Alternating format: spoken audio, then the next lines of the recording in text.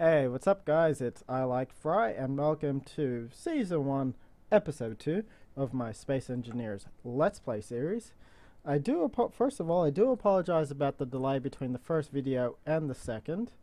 Uh, when I uh, initially uploaded the first video onto YouTube, as you can obviously tell, there was a lot of issues with the quality, and I had not been able to diagnose it until today.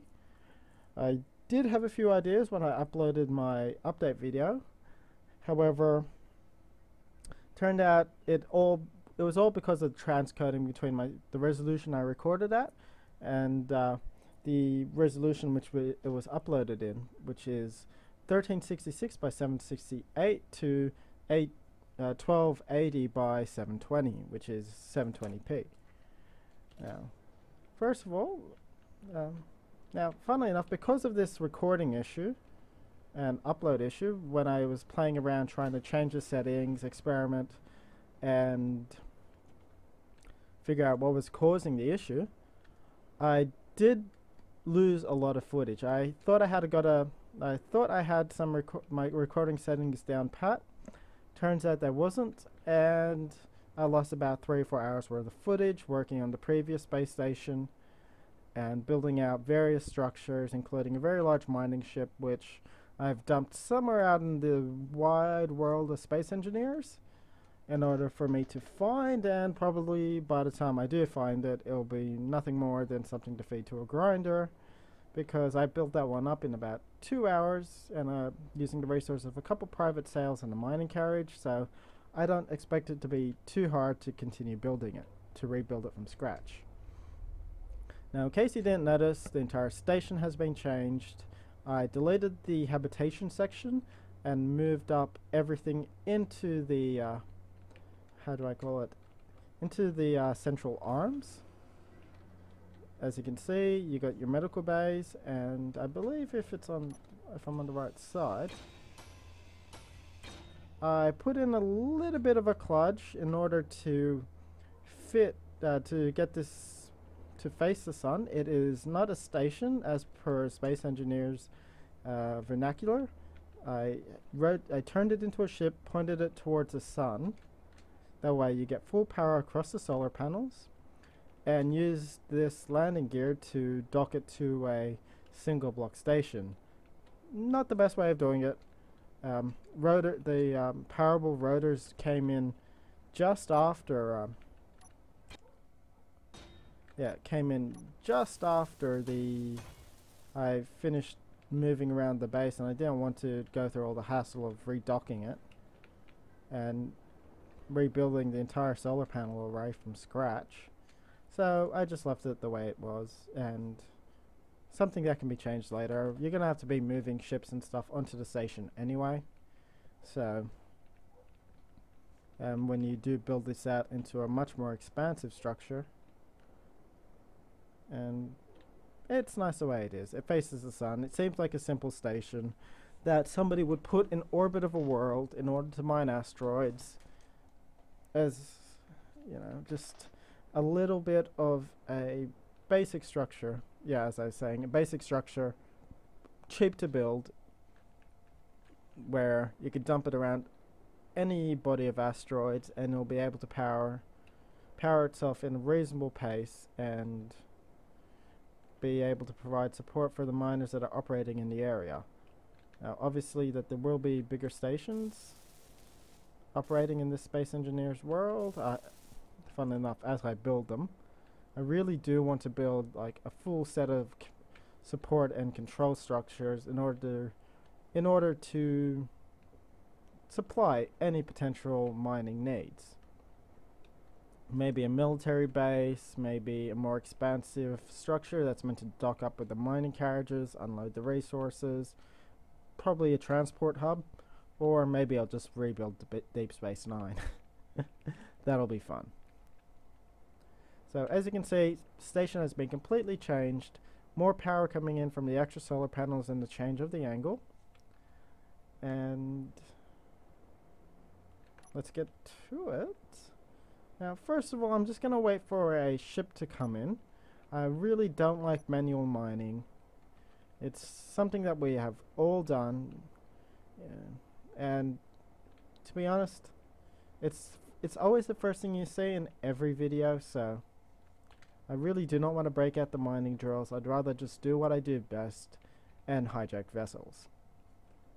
And in case you didn't watch the update video, this is the hole that was created when my one of my prototype mining drills uh, and ended up exploding. Uh, I believe that ship had nine, yeah, nine large mining drills, and I think it was because I only completed one of them was only completed up to the point where it would work, and I pushed it way too far too fast. So I mean, I had my, I had the ship going full throttle into the asteroid, and boom. Or, as you would say, a big bada boom. Yeah. There is another hole around here where just trying to find it where I did test out the mining drill. Uh, my second design, which had 25 of them, which took up a lot of resources and a lot of time to build. So I didn't want to waste it. And nope, nothing yet. But finding holes in these asteroids are is pretty hard, I must say. Unless this is it over here and I just completely missed it. Yeah, so this is what about 5 minutes with 25 large ship drills does to an asteroid. Digs a pretty big hole. I, if I remember right, the amount of resources it... Uh, another military transporter. Yeah, the amount of resources it collects is absolutely insane. Just from this uh, this iron vein here, I think I collected about 200,000 units. And you know what? I'm always willing to give it a shot, so let's see if I can capture this. If I, if I can capture this, this will be a great boon. It will also be a little bit overpowered, but I think it would be a great ending to the first video. Just given the fact that I did delete all of my mining carriages and anything else that I did legitimately capture for in the last videos. So, yeah. I mean, if I remember right, in the in what would have been the second, third, and fourth episodes of the original setting of the Let's Play series, I captured a military minelayer, uh. Uh, I believe it was the first one I ever caught, so I was kind of sad to see that go. However, I have caught a few in the meantime in different worlds, just playing around, experimenting. Is that drifting?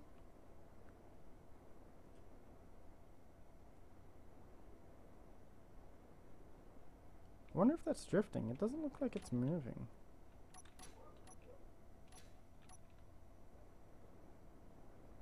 Now it is moving, but I'm wondering why a second ship spawned at the same time. This is really weird. Because normally you don't get them spawning two at a time. But this ship is moving.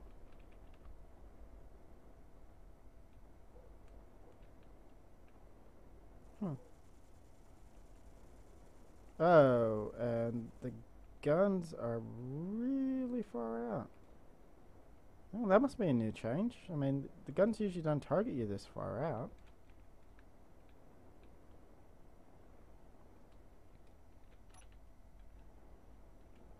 If anybody knows uh, that they set the military transporters up for 800 meters, please let me know. Because this just seems weird.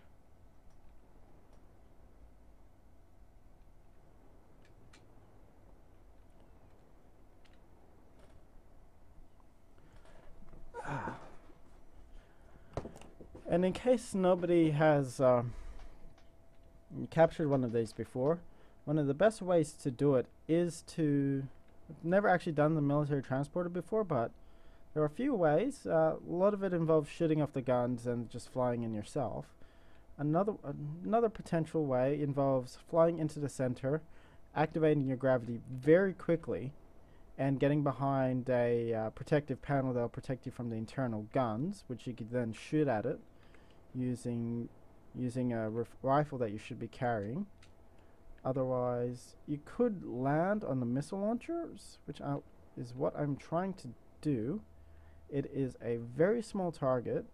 However, if you manage to do so and stay on, you will capture the ship. But just on the mere fact that you can turn off the uh, the guns. Then you got another problem, which is finding the. Uh, come on, just one second. Yes, by finding the the little explosives, and I think I own. Oh, that was close. That was close. Control panel, missile turrets, moving objects off. Targeting objects off. Interior turrets off. And what I also like to do is find any small thrusters, no matter what they are or where they are, and turn them off. So I think I have it. I think I actually have it. See, uh, that's the um, panels that you can use to protect yourself. And that's the internal gun that I was talking about, but I think I might have been able to capture this. This is the first one that I've ever ever landed on properly. This is insane. I don't think it's the best way to start a uh, the first episode of a Let's Play series or or of a restart, but you know what? I'm not gonna complain. But for four hours worth of footage, I think this is great, and completely unplanned as well. All as all I was ever expecting was a uh, was a little mining carriage or something. Wow. Completely unexpected, but wow. I can't imagine the amount of resources this ship has. And I'm going to get this thing back home as soon as possible. Yep. So, yeah. So yeah, if you turn off all the th small thrusters, at least on this military transporter, you don't go kaboom, and you still got enough thrusters spread across the ship in order to maneuver properly. Maybe not as fast as you can possibly go, but still at a reasonable clip. I mean, moving the military minelayer is a bitch and a half, if I must be honest. I mean, that thing, it doesn't move well. I guess the last thing to capture is now the, um, uh, at least in my list, is the mining, uh, the military escort. Don't think I've ever caught one without shooting something off. Just the firing arcs on it are, are very well designed, and I don't think you can land on any of the turrets without getting shot at. But I might just end this episode here. I mean, this will provide me with enough resources for quite a while, at least on iron and steel and anything like that.